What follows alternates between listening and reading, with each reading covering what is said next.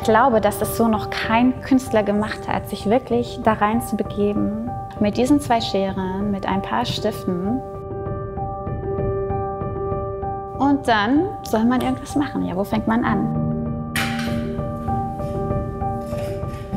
Also ich konnte dann recht schnell auch mich alleine auf, auf den Fußmarsch begeben und, und habe dann auch wirklich eigentlich fast überall reingeschaut.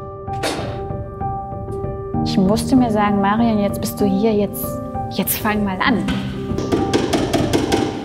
Aber dann ist man da drin, dann hört man vielleicht ganz aus der Ferne mal so Schritte, immer wieder diese Schritte irgendwo von rechts nach links laufen. Also es ist dann, glaube ich, tatsächlich etwas, ja, etwas ausgeartet.